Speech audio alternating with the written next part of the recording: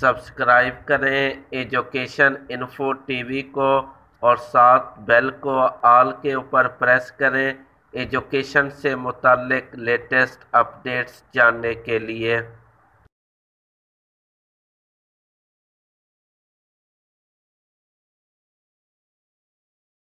السلام علیکم، I am Abdul Karim, education info T V میں خوش آمدید۔ ایجوکیشن کے حوالے سے اب تک کی جو لیٹسٹ انفارمیشن ہے وہ میں آپ لوگوں کے ساتھ شیئر کرنے جا رہا ہوں۔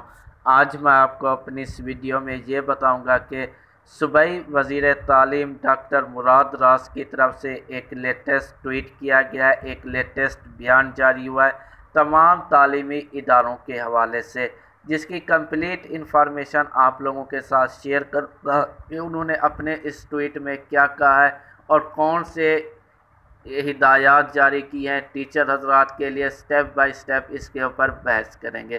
تو سب سے پہلے آپ لوگوں کے ساتھ صوبائی وزیر تعلیم ڈاکٹر مراد راز کی طرف سے جو ٹویٹ کیا گیا وہ آپ لوگوں کے ساتھ شیئر کرتا ہوں۔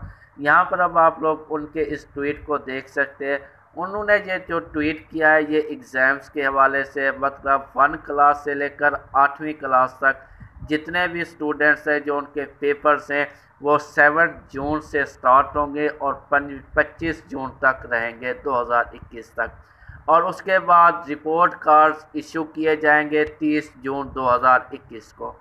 اب یہاں پہ ایک بات آپ لوگوں کو میں کلیئر کر دوں، یہ جو نوٹیفیکیشن جاری ہوا ہے، یہ نوٹیفیکیشن ان اضلاع کے لیے جن اضلاع کے تعلیمی ادارے بند ہے تیرہ اضلاع۔ جیسے لاہور، فیصل آباد، رحیم یار خان، ڈیرہ غازی خان، اس طرح تیرہ اضلاع ہیں جن کے تعلیمی ادارے بند ہیں۔ ان تیرہ اضلاع کے لیے یہ نوٹیفیکیشن ہے۔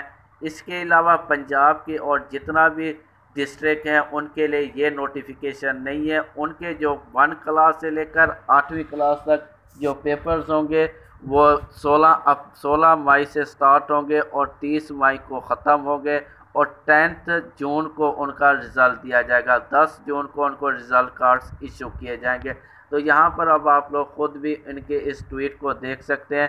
صوبائی وزیر تعلیم ڈاکٹر مراد راز کی طرف سے یہ ایک لیٹسٹ نوٹیفیکیشن جاری ہوا ہے امتحانات کے حوالے سے۔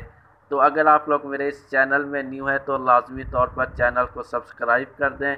کیونکہ ایجوکیشن سے متعلق جتنا بھی لیٹسٹ اپڈیٹ ہوتی ہے، ان کی کمپلیٹ انفارمیشن میں اپنے اس چینل میں دیتا رہتا ہوں۔